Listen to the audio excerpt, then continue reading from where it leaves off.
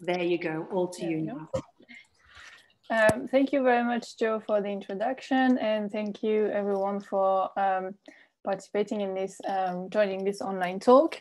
Um, so for those who are not familiar with the format, we do like 40 minute presentation and then we have time for, uh, for questions at the end. Um, and um, just to give a bit of background so that you know who I am. Um, so I'm a research fellow at UCL at the Institute of Education. Um, and I work on a project called Action, Action Against Stunting. Uh, so it's a project that aims to understand um, why children are, children are stunted, which means that they don't grow as well as they could in uh, some low and middle uh, income countries. Uh, so that's my current job at the moment. But uh, obviously, as you can see from the title of um, this talk, I won't talk about that. Uh, and I will be presenting research that I did during my PhD at Birkbeck University. Uh, and I could complement this research on noise um, with some um, master's project last year at UCL. So the way I prepared this talk um, is to um, actually um, present different studies on the topic uh, because one of my key points during this talk would be to say that whether noise um, is negative for children's learning and performance depends a lot on the context. So I think it gives a better overview of the topic to present different studies instead of giving really in-depth uh, uh, into one study. So um, I will not give all the methodological details for all the studies, um, but I've put the references and if you if you have any question or anything you want to discuss, we can do that um, at the end. Um, one thing that I really enjoyed when working um, about noise is that um, everyone has a, an idea about it, everyone can say something. So um, I could talk about my research in family dinners or um, uh, events and uh, it would be fine, like people would not leave the room and walk away. Um, so some people would say, oh, it's really hard for me to work with noise in the background um, because it's distracting me. Some people on the contrary would say, oh, it's very uh, boring to work without, um, in silence, without any stimulation. So I put the TV on the background. Um, and personally, I'm, I consider myself as quite sensitive to noise and um, especially when I'm trying to talk to people in noisy settings.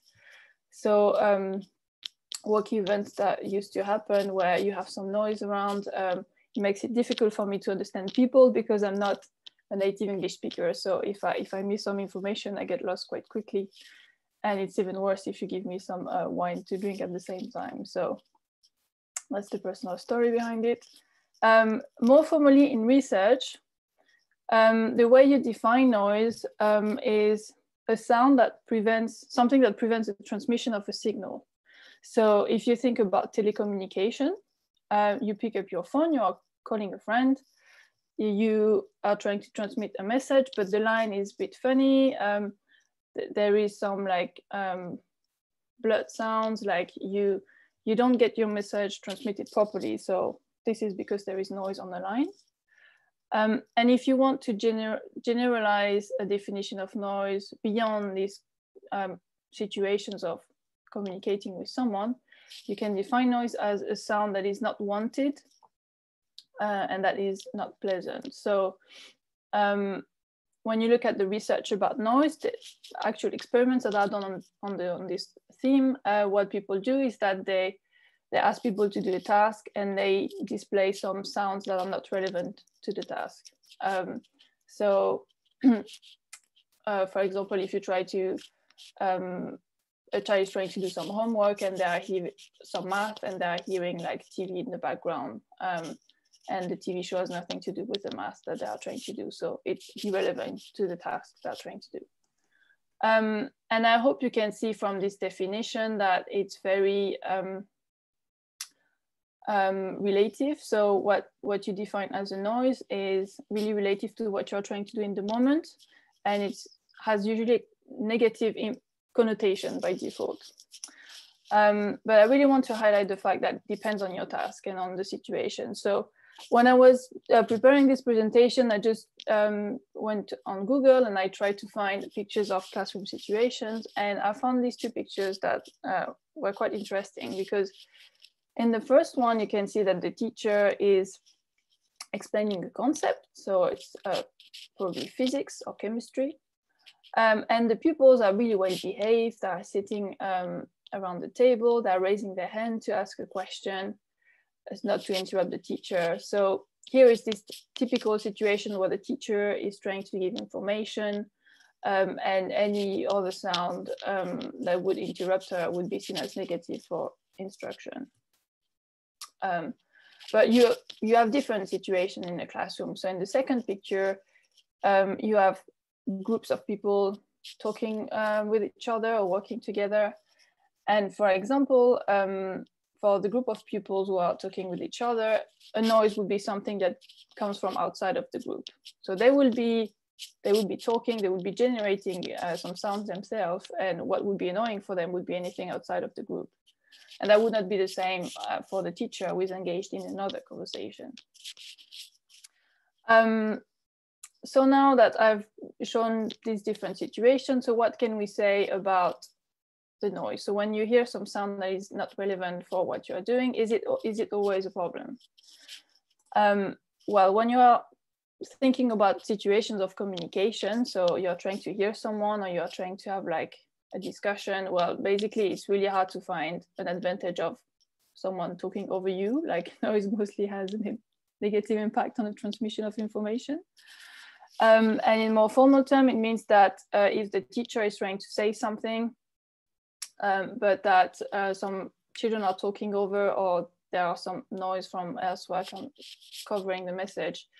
Children miss information and they need to fill the gap. So they miss some words, they miss some sounds from what the teacher is saying, and they need to reconstruct what they lost. Um, and for that, they need to use their language skills. And uh, we know that for children, it's tricky because their language skills are still developing. And it's particularly tricky for children in the early school years who are younger um, and whose classrooms are the noisiest. Uh, it's tricky for children who experience difficulties with language, uh, who have a hearing impairment because they struggle to hear in the first instance. And also uh, for children with English as an additional language. Um, and it's a bit the situation that I explained before with me trying to talk to people um, in English because when it's not your native language, uh, you have less knowledge um, and less resources to fill the gap. So to compensate for the information you lost because of the noise. And even if children do manage to understand what the, the teacher is saying, um, it's more thoughtful if there is background noise and th then they have less resources to, well, do what the teacher is asking them to do or think about really the meaning of what is being communicated. Um, and so sorry, over- can I just interrupt for a minute? Your earrings are making background noise with the microphone. My earrings? Yes. Are you kidding? I will remove my earrings live. Sorry to ask you that they're lovely earrings, but you know. I didn't. I had no idea. Thank you for letting me know. That's right. It's just Sorry funny. You're talking about noise, but we have some noise from your earrings. There you go. Thank Sorry you for letting me know. no earring then. Is it better? um, so that was for the situation of communication, and um, when children are engaged in a solo task is another type of activities they're engaged in in the classroom. And um, here the, the answer is less clear cut. So um, basically, if they hear some sounds that are not relevant for the task, whether it's negative depends on different things. So it's a bit of the typical answer of a researcher to say like, it depends. Um, but my role when I was doing my PhD was to understand what it depends on so that we can understand uh, in which context noise is negative. And I will um, present three factors here. So the type of sound that children are hearing, um, the tasks they're engaged in, and also their individual characteristics. And so we start with the type of sound. Um, and so there are various sounds that you can hear in a classroom and also in the in in your home if you're if you're trying to do learning activities at home. Um, there, there is sound from the outside of the building. So um, noise coming from um, uh, the street, from cars passing by, from airplanes, trains. So that's external noise. Um, and you also have uh, noise coming from the inside, so uh, electronic equipment. Uh, if you think of printers, uh, ventilators, it's something I really noticed also. Um, well, in my previous office, we had air conditioning. We had like uh, it was always on, and you wouldn't notice it very much when it's on because it's a constant background noise. But when it was when it was turned off, I could really feel like a difference. Um, and you finally have noise generated from the people inside the building. So it's pupils in the classroom who are talking with each other, who are um, moving around, dropping stuff on the floor, using their objects. Um, and if you look at research, um, usually external noise is studied in what uh, what is called community studies, where researchers go to find communities that are living in particularly noisy areas. So, for example, um, families living near um, Heathrow Airport, um, and they will they will see how pupils are doing um, in terms of learning and how classrooms are coping with that. Um, and these studies are really important, um, but I won't mention them here because uh, these are studies that like that involve um, lots of political decisions. And if you want to find solutions for noise in this type of studies, uh, you need to involve a lot of uh, different people at the community policy level um, and um, as a PhD student in a field of education, I wanted to focus on internal noise because first, if uh, classrooms are not situated in a particularly noisy area, usually the noise generated by the pupils is covering the noise coming from the outside. It's also reported to be the most disturbing source of noise for teachers and pupils. And finally, well, then you can um, you can discuss it with people and potentially find solutions because they are generating noise themselves. Um, and I here will focus on moderate um, level of noise. So um, basically the noise that um, corresponds to the level of a conversation or um, good conversation, not very, very high level that are really like just harmful for your ear, such as when you hear like a building work that is very loud or like an ambulance. Um, and the first uh, experimental studies about noise and how it impacts learning and performance uh, looked at memory. So, um, and these studies involved adults and children, um, and they specifically asked people to uh, remember lists. So it's a task of serial recall. Um, so they gave a, a, list of participants that was displayed visually on the screen. So list of digits, for example, uh, or letters, and, and they had to remember this information. And what they found is that three types of noise interfere with people's memory in this situation. Uh, the first type of noise is verbal noise. Uh, so noise that contains uh, meaning or phonological information. So the information from the sound of language. And so that would be like an obvious example. Bonzo was a rough-haired fox terrier. So if you're someone telling you a story or like something irrelevant to your task. Um, and why this type of noise is negative is because um, when you are trying to remember a list, uh, you are basically re rehearsing it in your head. So if I'm trying to remember three, five, seven, uh, I will kind of repeat them in my head. And according to the models of working memory from Baddeley, you have like an internal articulation for that. But if at the same time you hear some um, uh, language, um, well, you're also gonna process it by the same system. And so then you are dealing with a lot of information at the same time and, and this is causing a problem for your memory performance. Um, so that was for the first type of sound.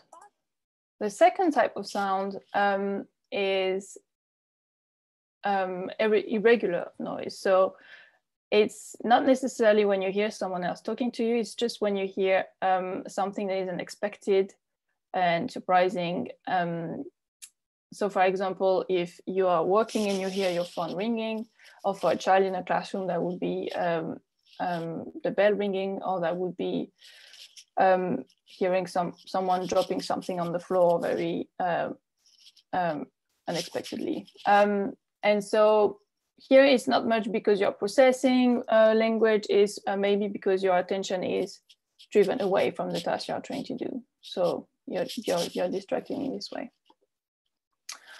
Uh, and the third type of sound that um, is interfering with um, memory um, in this serial recall task is noise that is composed of a series of ordered sounds. So um, it looks like a complicated sentence. It just means that if you are trying to remember a list, if you hear another list at the same time, that you need to keep track of order, both visually and in what you hear, and it's like too much order to process and you have an interference.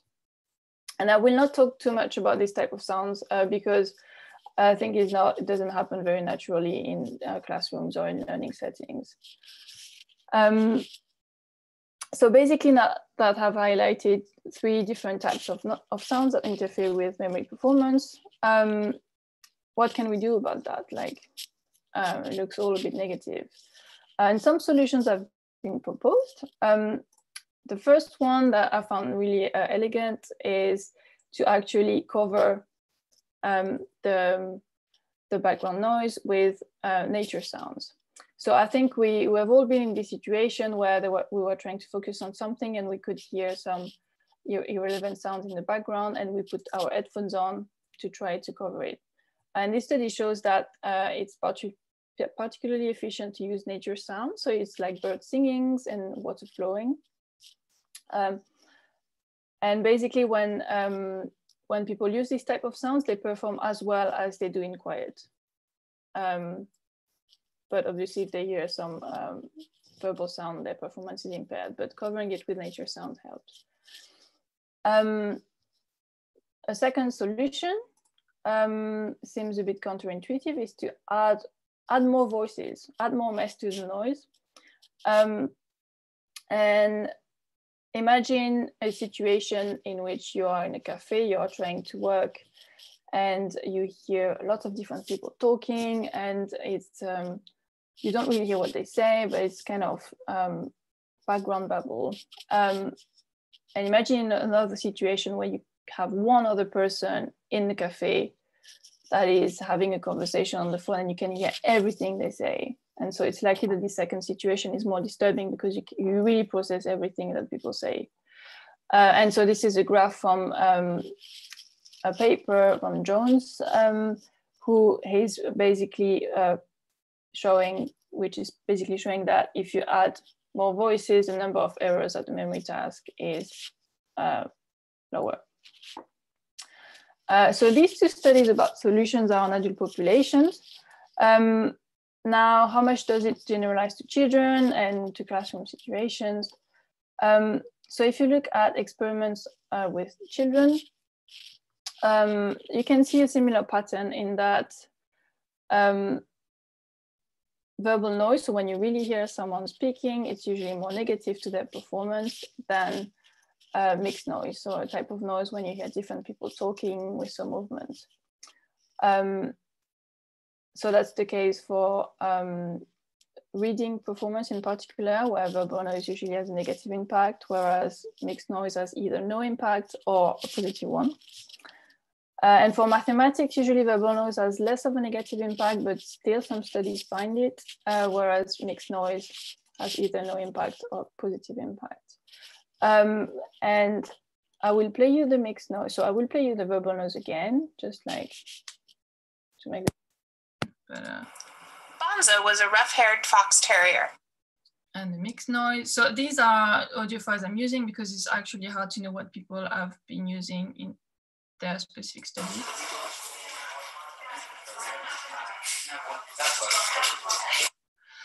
Um, and what is puzzling in these results when you, you look at different studies on children is that well why would you have why would noise be beneficial so these studies about noise they show that sometimes children who are placed in a situation when there is background noise they perform better at reading in math class so why would that be the case and sorry, there is a bit of a mess with the sound file here. Um, and so I found two different interpretations when I looked at uh, previous papers. The first one is that um, if you um, if your attention is driven away from the task, it's actually an opportunity to focus again. Um, so for that, um, imagine you're trying to work on um, something and you kind of your mind wandering a bit or you're not actually into what you're doing. And sometimes if you hear like a stimulation from the outside, you kind of realize that you're not fully into your work and you refocus. So there could be a potential mechanism. Uh, another explanation um, comes from creativity research. And it's the idea that if you're actually a little bit distracted, uh, it can help you to generate ideas. Um, and this comes from a study on undergraduate students, um, which show that they, they give more original ideas when they're, uh, when they're in a situation of moderate mixed noise compared to a quieter situation or a very loud situation. Um, and here's the idea that if you if your attention is uh, redirected actually it could be great because it helps you to not fixate on one idea but to think about different creative ideas. Um, so attention here seems to be a big factor and i think it's quite intuitive when you think about noise in everyday life as well. Um, so i had to look at what kind of research was existing on the topic. Um, and um, so the first approach that has been used in the literature was to compare adults and children. Um, so again, typically using um, memory tasks. Um, and these studies found that usually children are more impaired than adults by background noise when they are engaged in a memory task. So both adults and children are impaired, but children are more impaired. And researchers uh, interpret that as uh, an effect that shows that it's because children have lower attentional skills, so they're more impaired by uh, background noise. And I think it's a bit of a gap because they could be impaired because they have lower attention, but they have also lots of other skills that are developing from adulthood, from childhood to adulthood. So they uh, they are better with language, they're better at regulating their emotions, at keeping information in mind so that's uh, I think that's not completely satisfactory. Um, I had a look at studies on adult populations, and here you have you, you do have more studies looking at atten attentional skills. And in particular, Patrik Sörqvist has done um, experiments where they ask adult participants to either do a memory task or, or read a text and answer comprehension questions. And they found that when, well, typically when you when you play some verbal noise in the background they're impaired. But um, participants who are better able to filter out irrelevant distractors or irrelevant information um, are more resistant so they are less impaired by noise.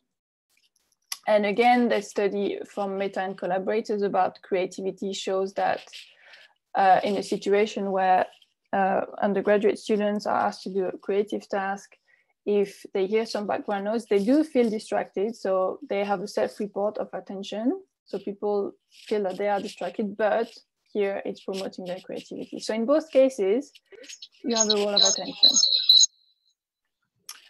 Um, and when I started my PhD, um, we didn't have evidence on children. So I was wondering, is that the case for children as well? Can you, can you find differences in terms of how well their attention uh, allows them to work with noise? And can also can noise be also positive for them in some cases, such as in the case of a creativity task. Um, and so I will present here uh, one of the first study of my PhD. So it was on a small sample of elementary school children from 5 to 11 years of age. So it was more a proof of concept about this idea of um, understanding how selective attention plays a role in dealing with noise. And uh, we did it with Kathy Rogers, um, uh, who, who has done a PhD on creativity, and Denis Mareschal and Natasha Kirkham who uh, were my supervisors. Um, and we asked um, children to do two creativity tasks. So in the first one, it's called the alternative uses task. Um, and they have to generate as many potential uses as they can think of for a plastic bottle. So lots of different uses. So you can uh, you can use a, a, plastic bottle to contain liquid, but also can transform it into a robot or um, plant pot, uh, plants in it, etc. Um, and this has been used in the studies showing that uh, undergraduate students perform better uh, with noise. And a second task was um, to imagine uh, a fictional situation. So we were saying children, imagine uh, there was a big fog and we could only see people's feet. Imagine what, what will happen. Um, and so in both tasks, they were prompted to come up with different ideas. Uh, and basically we counted how many ideas they give for they gave for each task. So that's a fluency measure and also how original their ideas were. So for that, for the alternative uses task, we just ask four people to rate each idea on a scale from one to five, like how creative you find this idea? And people usually agree on that. Um, and for the second task, it was um, there was a protocol, like a guide to score um, the answers. But the idea is that basically, if an answer is not very frequent, if children tend to give an answer not frequently, it means that it's more original. And we measured selective attention um, with two tasks. So they were drawn from the executive function literatures for those who are working in the field. Um, and the first task um, is the flanker task. So children had to say in which direction the middle fish is pointing. So on the right, so they had to press the key on the computer to say that. Um, and in easy trials, all the fish point to the same direction, but in the hard trials, the middle fish is surrounded by distractors. And so how we measure selective attention is by measuring how much longer children take um, for the hard trials compared to the easy one. They, they, they get the answer correct, but it's just it takes longer because they have to kind of um, filter out these distractors. And for the Stroop task, it was programmed by Sue Morris at UCL. Um, here it's the same idea, but they had to, to indicate which was the biggest animal in real life. So um, here you can see you have a lion and a rabbit, so it's the lion. And in the easy trials, um, the lion is also the biggest on the screen, but in the hard trials, it's quite small. So you have to just answer based on your knowledge and not pay attention to the actual size of the images. And again, to measure selective attention, you check how much longer children take to reply to the hard trials compared to the easy ones.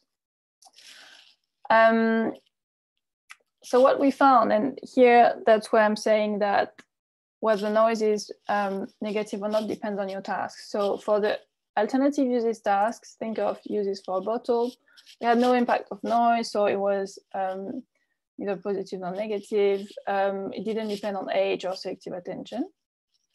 However, for the second task, so when uh, children were presented with imaginary situations, um, we found that um, the impact of noise depending on the selected, selective sorry, attention um, as measured by the flanker task. So what you can see on the graph, so I don't know how big it looks on your screen. Um, so I will just uh, talk you through. So on the left, you have um, the data for children with low selective attention. And you can see that they give less ideas in noise. So it's like the red, reddish orange um, dots and the line uh, compared to silence, which is blue. But children with high selective attention uh, gave ideas that were as original in silence and noise. And by high selective attention, I mean that these children actually, they, they, were, not, they were not affected by distracting fish. So for them, it, they were as fast for easy or hard trials, and they were also good at um, filtering out the noise apparently. So you seem to have a process of attention here and the ability to select what you want to pay attention to. Um, and also we had a three-way interaction. So it's always something that makes you a bit freak out when you see your statistics. Um, but basically it means that the impact of noise depended on uh, children's age and the selective attention. So I split the group in two. So you have the younger children between five and eight years of age, and the older one between uh, from up to 8 to 11 years of age. Um, and for the younger children, um, what you can see here is that those with low selective attention, they, they have ideas that are less original than their ideas given in silence. But when they had high selective attention, uh, the originality of the ideas was the same in silence or noise. And for the older children, um, again, the originality was the same, was not different in noise and silence. Um, and so you can see the glass as half empty or, or half full. So you can say, oh, young children low selective attention can be particularly impaired for this uh, creativity task when we measure the originality of the ideas. Um, and that's the thing in itself because um, actually classrooms for younger children are usually noisiest because that's when they're engaged in lots of different activities, often group work. And the data, research data shows that their classrooms are actually particularly noisy. Uh, but you can also see the glass as half full and, and consider that what if children have the ability to handle distraction, then they are not um, impelled by noise. Um, so that was a study on creativity. And what is nice is that very recently, um, a colleague from um, Birkbeck University, Giada Gira, so you can see the reference um, on the bottom line here, she has used a reading task and she has shown as well that um, basically um, when you add, this time she used verbal noise, uh, when children are in the presence of verbal noise, those with better selective attention were less uh, impaired. So we use different tasks with a slightly different protocol, but we, we found this evidence that you do have variability between children. And I think it's quite positive that we, we came up with the same conclusion about that. So attentional skills are one thing. So here with these tasks, I was really trying to see if you can resist distractions. But there is another way to approach the issue of noise, which is that some people is not that they don't pay attention to noise, it's just that they pay attention to it, but they manage to go back to their tasks. So imagine um, in the situation where you are trying to work with a, a TV on the background, sometimes it can be that you um, you pay a bit attention to what's going on in the TV show, and then you go back to your task and again to the TV show. And as I'm speaking about that, I, I remember my sister used to to study while watching a tennis tournament, and she could keep track of the scores by doing that. So um, here is not only attention, it's switching skills. So your ability to move from one task to another. And if you look at studies on adult populations, um, so this is a study by Career.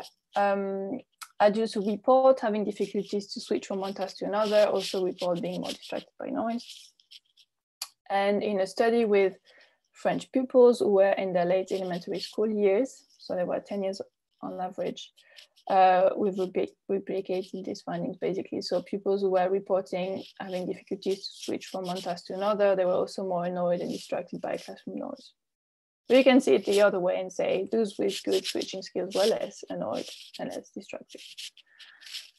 Um, and that was um, that was interesting to see, but um, I wanted to complement that with some behavioral data. So actually, how can we measure people's switching skills? And so I've set up a project with um, a master student, Precious Monas, this year to uh, measure uh, children switching skills and, and, and see how it relates to how they cope with noise. Everything was set up and ready to go. Um, and as you can guess, the schools shut down, so we could not run the project. But instead, um, we moved the project online and Precious worked with undergraduate student instead. Um, and she did a really good job at moving the study online and also at, well, recruiting people in this context. Um, and so she recruited 51 undergraduate students between 18 and 23 years of age. What is quite good is that there were uh, students in psychology, but also in business or economics. So it's not only a study about psychology with people from psychology. Um, and we use this alternative uses task again because it's it's um, it's easier to compare our results with adult studies using this alternative uses task. So try to think of as many different uses as you can think of for a bottle. And again, we counted how many ideas they gave and the originality so uh, of each answer and then the average originality for a participant. And there was an alternative version about uh, hunger. And so participants performed one of these alternative uses tasks um, in quiet. So they were sitting at their desk, at their table, with headphones, but no, no sound was displayed. Any situation of ambient cafe noise displayed at a moderate level. Um, and the way we did that is to ask them to set up the volume of their computer at 60% capacity.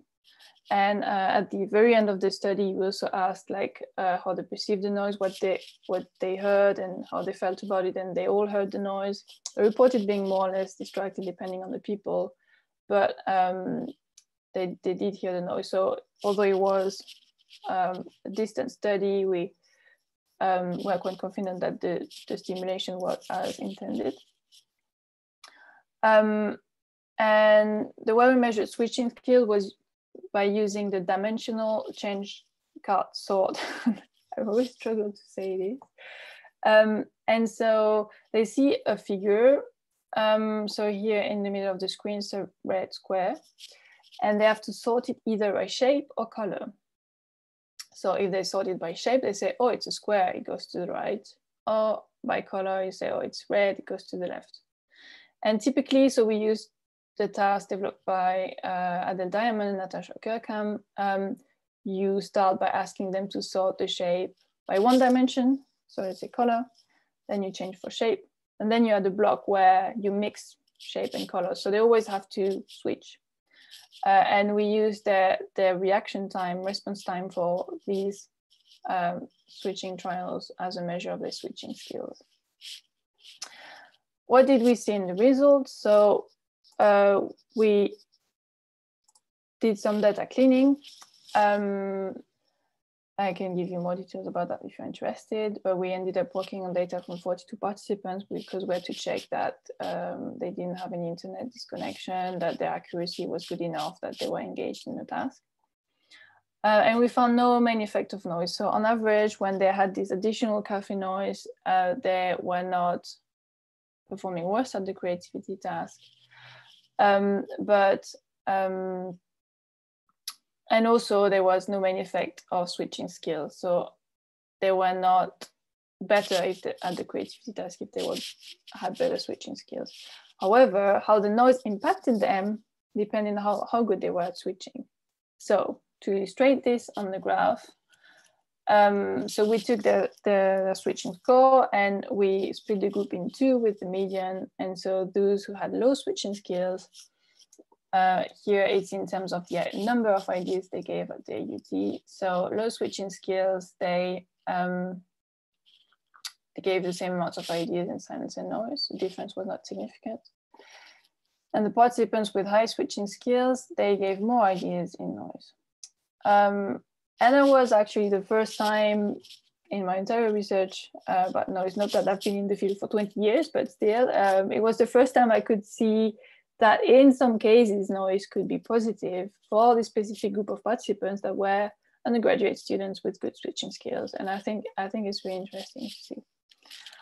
Um, and so I hope that by showing these different studies, um, I managed to give you an overview of how um, we can uh, see different aspects when we think about the impact of noise on learning and performance. So we need to take into account uh, academic achievement of performance, whatever task you choose as the task you want to be good at. So reading, math, memory, creativity.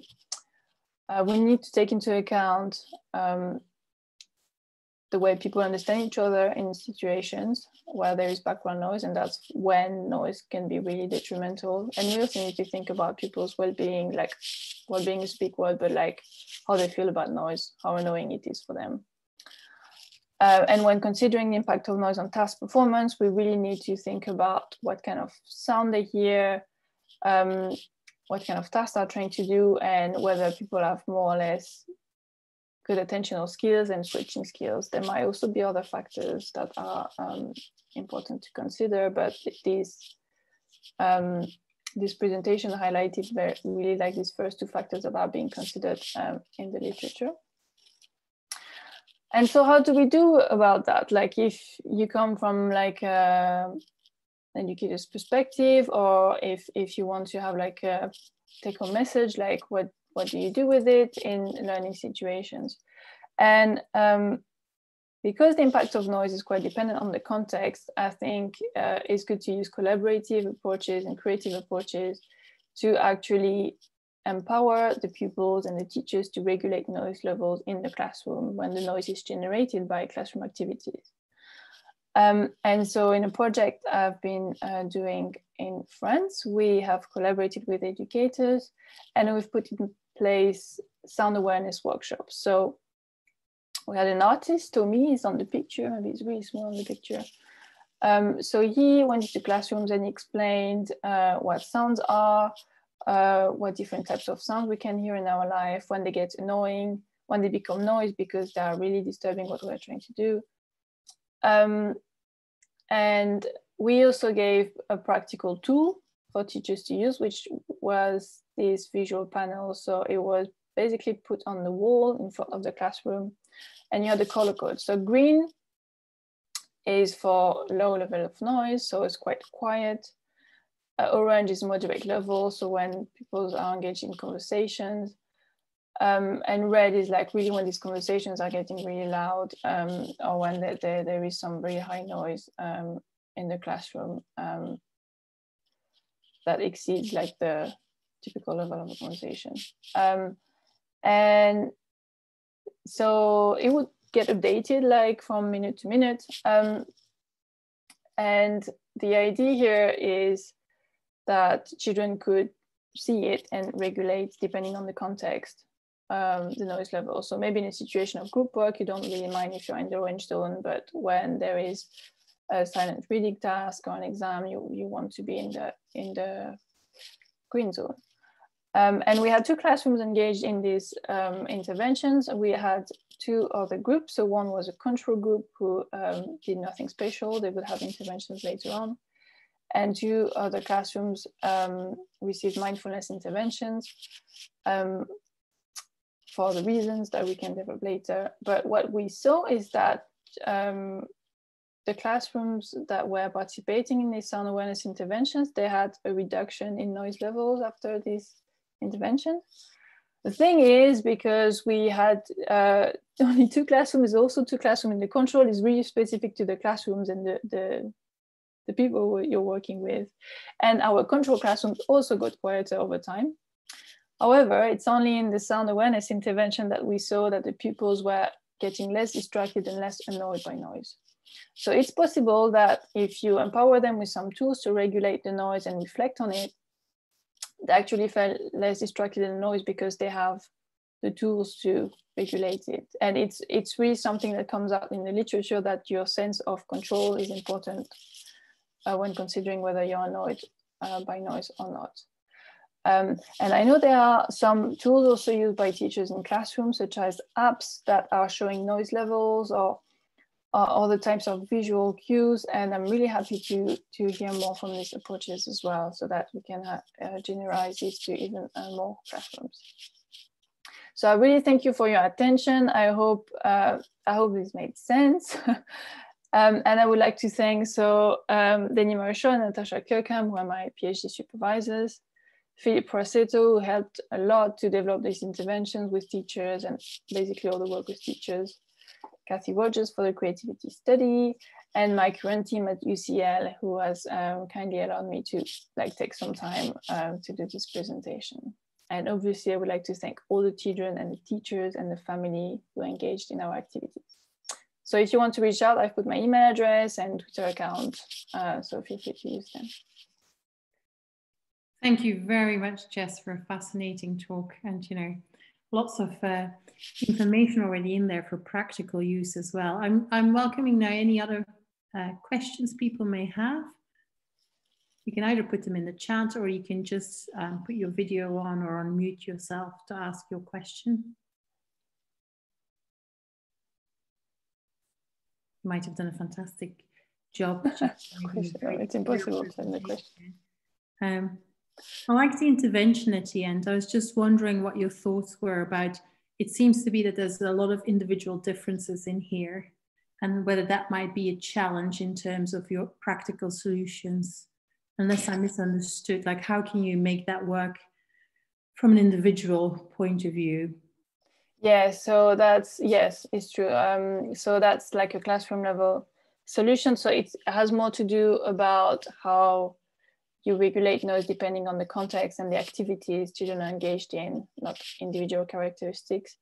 Uh, but there are um, there are other things that I think would worth um, trying, which is uh, once you raise awareness about that. So how about you give sound cancelling headphones, or you give um, objects that children can use. You know you have you can have a quiet corner like something it's difficult you cannot change the design of the classroom in one day but you know maybe using sound cancelling headphones or these ideas of using sound to cover uh, the background could be useful. And and i think that's the kind of solution that can mainly come from collaborations with teachers because they have a sense of what's possible in the classroom um, to do so. Hmm. Are there any questions for Jess? I'm not sure I can see the chat, so I don't know if there is anything. No, there is a chat. Um, the recording will be available after the talk. Yeah, it's uh, available on the YouTube channel from the Center of Educational Neuroscience. So that's the question we've got. Oh, who we got here? Can't see. Natasha, no, could I ask a question? I'm I'm kind of um, I, am a bit confusing because I've just been in another talk for experimental psychology in Oxford and I've just jumped across, but I'm Kathy Manning. um, okay.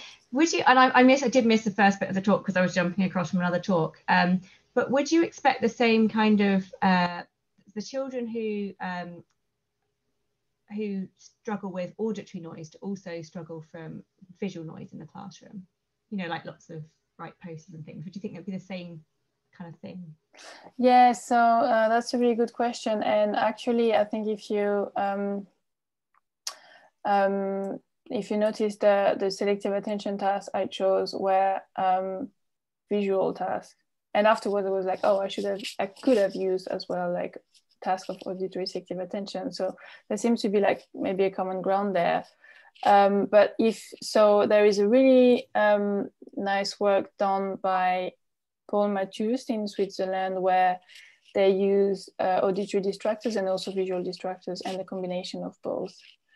Um, and yeah, I, am not able to tell you on the top of my hand because it depends on, again, the age of the children. Um, but um, that would be interesting to see if it's the same type of profile. Um, Yes, so I'm, I'm kind of I'm kind of moving the question to another line of work, but I think the fact that we use visual um, selective attention tasks make it uh, likely that there is a, a, common factor and also some very sp specific like auditory processes, but it can be like a central attentional phenomenon. Thank you, Catherine, for your question. Um, Caroline Witten also has a question. Go ahead, Caroline. Thank you. Um, yes, my question was that there seem to be a, um, a, subset of children who actually need noise to concentrate. I know several of these who um, they actually say, without noise, I can't concentrate, and I, I, need that stimulation to keep me stimulated. So I just wondered what your reaction was to that. It's, it's rather like people listening to music if they're doing exams and things and revising. Some will have one type of music, some will have another, and others will have none at all. Yes, that's a really good point. So, are you mentioning, for example, uh, children with um, ADHD actually or extroverts? Yeah, I, I, think probably a combination, maybe possibly ADHD, also maybe sensory integration issues. So, so there is some research. Um, um, I think it's uh, mainly on um, people with ADHD and children with ADHD using white noise. So white noise is like uh, a noise from you know like shh, a very like stable frequency um, that could uh, be helpful for some children because um, they will need um, to be more aroused. So this is usually related to um, their baseline level of stimulation. So some people can be easily distracted, and um, some others would need like extra simulation to kind of help them reach their optimal level of like focus and um, engagement. And so for uh, children with ADHD or extroverts as well would need more stimulation to focus on the task. Uh, and I think this um, this is again a big gap, I think, in the research because um, what I saw so far is usually using this kind of white noise that um, is great, but it's not really a classroom situation. Um, and also the work about um, extroversion um, is about uh, adults. So there, there is still a lot to do, yes. And Jez, I'm just going to take a few questions first from the chat box, if that's okay. Um, so Michael Thomas is asking, do you think the variable noise conditions experienced by children at home may contribute to educational attainment gaps? So we know, for example, um, that some um, households will have more children in one room who have to study at the same time, for example, because they don't have their own rooms or their own quiet space to study.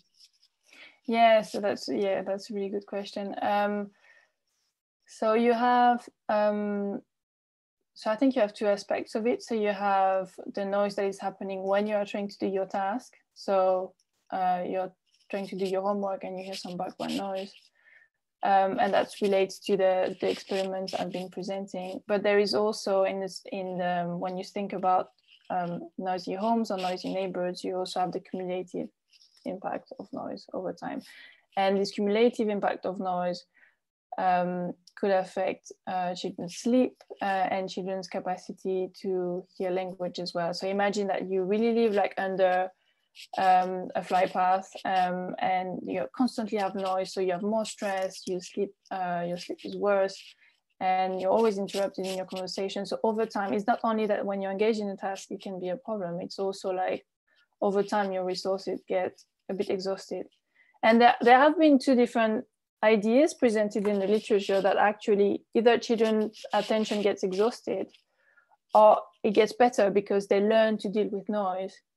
But I think when you look at the data and when um, uh, when you actually um, measure the chaos in the home, so it's a, a site study that we have done where we use the measure of home chaos um, and also children's attentional skills. Um, when when there is a, a, relation, it's often negative. So more chaos is is related to worse attentional skills when that's the case, um, more than the opposite.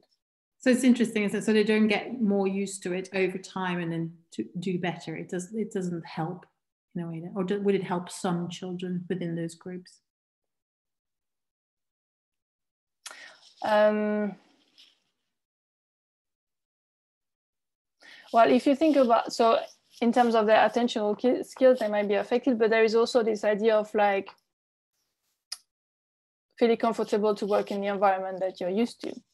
So that's more of something related to to mood or um, or or your, your memory of like the situation in which you engage when you learn. Um, and yes, for this I don't know. Uh, Brittany, so Brittany Sher, she's um, I don't know if she's here, but she's doing a PhD on noise as well with uh, younger children. And she did a study where um, they compared children living in more or less noisy houses and how children performing attentional tasks in the younger ages as well. So um, that, that would be great to refer to our work for that. Yes. Brilliant. And um, Iraz, did you have a question you want to ask? Um, yeah, I was just wondering, I might have missed it, um, but whether you've been thinking about it in terms of the perceptual load theory of like Nilli Lavie's um, theory, where there's this idea that you know how much distractors affect you depend on the load, the current load of the task you're doing, and it relates a little bit of the question that someone had mentioned before is that if you're not doing a task maybe that's engaging enough, if you have a bit of uh, music, it might just make you, you know, in the right zone to concentrate. But for some people, it might be too much or not enough, and so that really depends on the the load of the task you're doing right now.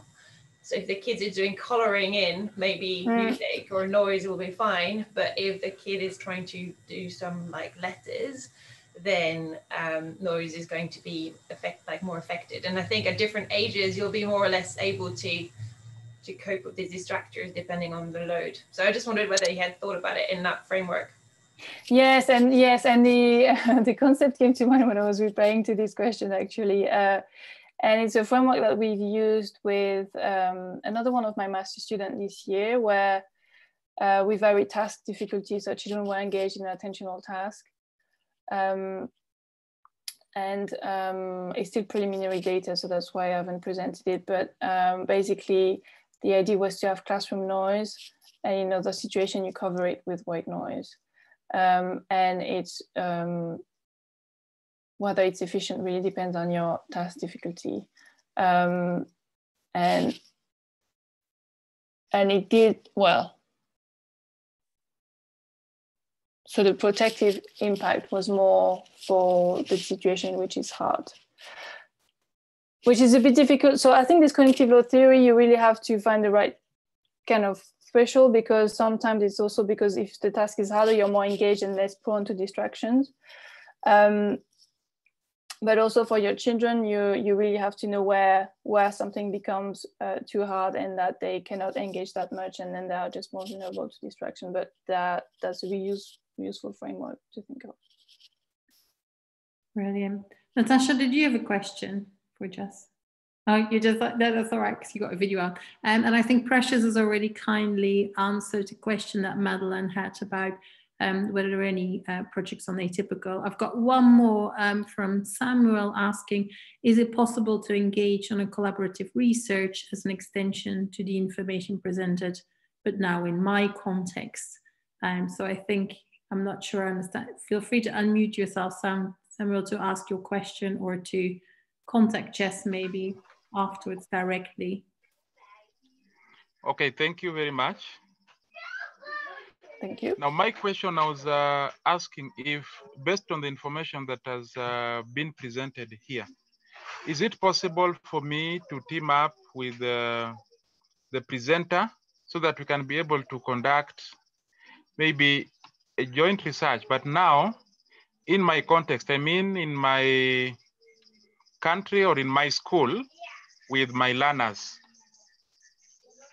I, I think that's a great question to answer um, maybe outside of the meeting. So Jess has kindly provided her contact details um, on the slide. I don't know whether you can see it, but if not, um, we'll uh, put you in touch if that's okay. Yes, definitely. Send me an email and we can uh, we can discuss about it. As I said at the beginning of the presentation, I'm, it's not my main research area anymore, but we we can see what's possible and also like uh, um, even just discussing it sometimes it's helpful. Um, so yeah, feel free to email me and we can have a private conversation. Thank well, you. Nice. Thank you. Well, we nicely made it to almost five o'clock, so it's been perfect timing, Jess, on your behalf. And thank you all for people who've asked the questions. I think it's a very interesting area of research to really get an understanding of, you know, what impacts on uh, children's learning or other people, you know, adult learning as well, and the individual differences in there. So yeah, round of applause for Jess for a fantastic talk. Thank you. And we all look forward to seeing you again, people who are listening or have joined us today for next week uh, when we have another talk. Um, and I should have known by who, but obviously, you know, I've been teaching all afternoon, so I'm not so prepared, but um, we'll send an email round um, and tomorrow and on Monday to remind you um, about the next speaker that's been lined up. Thank you again for listening and for joining us and uh, see you all next time. Thank you. Bye. Thanks, yes, again. Bye-bye.